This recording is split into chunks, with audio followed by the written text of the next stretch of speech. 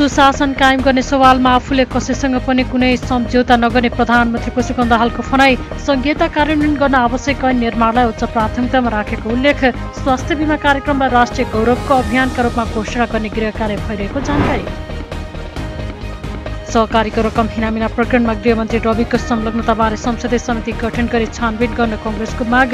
विगतमा मन्त्रीमाथि प्रश्न उठ्दा संसदीय समिति समेत गठन भएको भन्दै माग पूरा नभए संसद अवरोध हुने चेतावनी। सहकारी अनियमितता प्रकरणमा गृहमन्त्री रवि लामिछानेमाथि अनुसन्धान गर्नु नपर्ने भनेर प्रहरीले नै ब्रिफिङ गरेको प्रधानमन्त्री प्रचण्डको भनाई। अनुसन्धानमा कैफियतदेखि लामिछानेलाई कारवाही गर्न कसैले रोक्न नसक्ने प्रस्तुति। लामिछानेको विषयलाई राजनीतिकरण नगर्न आग्रह। अनुसन्धान प्रभावित गर्न खोज्ने कङ्ग्रेसले नैतिकता र सुशासनको कुरा गर्न नसुहाउने गृहमन्त्री रवि लामिछानेको जवाफ। कङ्ग्रेसले चार वर्ष नै संसद अवरुद्ध गर्न सुझाव। छानबिन आयोगको विशेष संसदको अधिकारको कुरा भएको जिकिर गृहमन्त्रीमाथि छानबिन गर्न संसदीय समिति गठन गर्न सम्भव नभएको एमाले अध्यक्ष केपी ओलीको जवाफ? सरकारबाट बाहिर हुने बित्तिकै कङ्ग्रेसले आक्रोश उत्तेजना देखाएर संसद अवरुद्ध गर्न नहुने भनाइ कङ्ग्रेसद्वारा मङ्गलबार पनि गृहमन्त्री रवि लामिछानेको राजीनामा माग। सहकारी ठगीको आरोपित जुन पक्राउ पर्दा रवि लामिछाने किन पक्राउ नपरेको भन्दै प्रश्न। अनुसन्धान भइरहेकै व्यक्ति गृहमन्त्री बनेपछि निष्पक्ष अनुसन्धानमा आशंका बढेको भनाइ इजाजत दिइएका हतियारको विवरण चौबिस घण्टाभित्र पठाउन मातहतका निकायलाई गृह मन्त्रालयको निर्देशन। सोमबार सर्वोच्च अदालत परिसरबाट इजाजत लिइएको हतियारसहित दुई व्यक्ति पक्राउ। भन्सारलाई राष्ट्र सङ्गठनको केन्द्र नभई उद्योग व्यापार प्रवर्तन गर्ने थलो बनाउनु पर्ने सांसद डाक्टर सोनी वाग्लेको धारणा। नेपालले विश्व समुदायमा गरेको प्रतिबद्ध अनुरूप भन्सार विधेयक पहिले आउनुपर्नेमा अहिले आएको भनाइ। पक्राउ परेका माओवादीका उपाध्यक्ष कृष्णबहादुर मरावारे पदाधिकारी बैठकमा छलफल ठोस निर्णय हुन बाँकी रहेको प्रवक्ता अग्नि सापकोटाद्वारा जानकारी। तराई मधेस जागरण अभियान र हिमाल पहाड तराई मधेस राष्ट्रिय एकता अभियान कार्यक्रम स्थगित गर्ने निर्णय।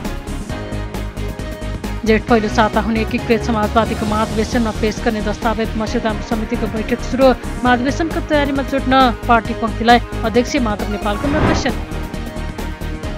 अर्थमन्त्री वर्षमान पुण्ड नेपालका लागि चिनिया राजु छनसोङ पेज भेटवार्ता चिनिया सहयोग तथा लगानीमा निर्माणाधीन विकास आयोजनाका कामलाई तीव्रता दिन पुनको आग्रह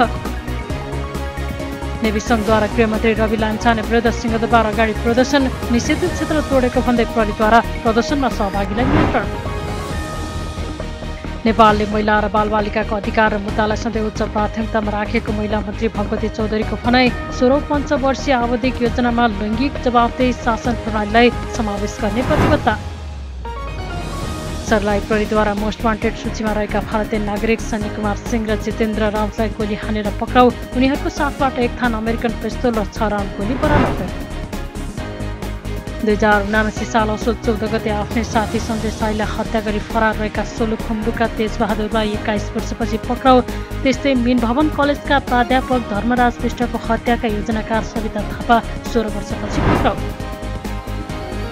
रुसी सेनामा गैरकानुन रूपमा फर्ती भएका थप सोह्रजना नेपालीको मृत्यु यो सँगै रुसी सेनामा फर्ती भएर युक्रेनसँगको युद्धमा ज्यान कमाउने नेपालको सङ्ख्या तेत्तिस पुग्यो प्रहरीद्वारा अनलाइन क्यासिनो गेम खेलाएको आरोपमा काठमाडौँबाट चारजना पक्राउ पक्राउ पर्नेमा काभ्रेकी सरिता लामा सिन्धुपाल्चकी सारङ्गा गुरुङ खोटाङ्की पूर्णिमा राई र नुवाकोटका टेम्बा लामा रहेको उल्लेख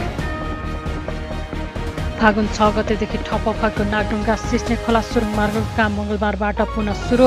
काममा अवरोध नभए बढीमा दस दिनभित्र सुरुङको मृत्यु हुने आयोजनाका प्रमुख नवीन मान श्रेष्ठको भनाइ वैशाख पन्ध्र गते हुने उपनिर्वाचनका निम्ति सरकारले दस करोड रुपियाँ प्रदान प्रतिनिधि अन्तर्गत इलाम दुई र प्रदेशसभा अन्तर्गत बझाङ एक कमा उपनिर्वाचन हुने।